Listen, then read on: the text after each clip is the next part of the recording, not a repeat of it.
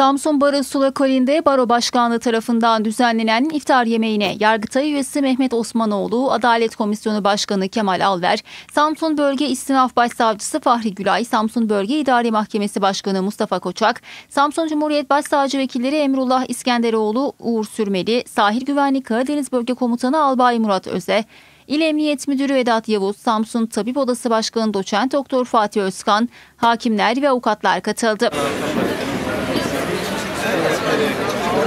Yemek sonrası konuşan Baro Başkanı Kerami Gürbüz şöyle konuştu.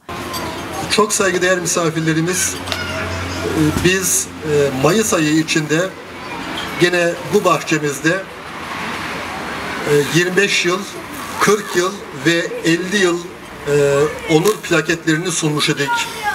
E, Bu kadar yıl mesleğimize hizmet eden çok değerli meslektaşlarımıza o programımıza yurt dışında oldukları için katılamayan iki meslektaşımıza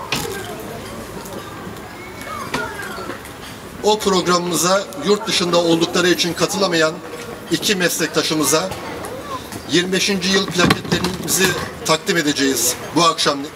Daha sonra meslekte 25 yılını dolduran Sevgi Çetin'e Adalet Komisyonu Başkanı Kemal Alver, İsmail Uyanay ise Yargıtay üyesi Mehmet Osmanoğlu tarafından plaket verildi. Ee, çeyrek asır görev yapmak hakikaten zor. Hele avukatlık gibi meşakkatli bir meslekte daha da zor. Ben e, 25 yılını gururla, şerefle, onurla bitiren bu arkadaşımıza daha nice 25 yıllar diliyorum.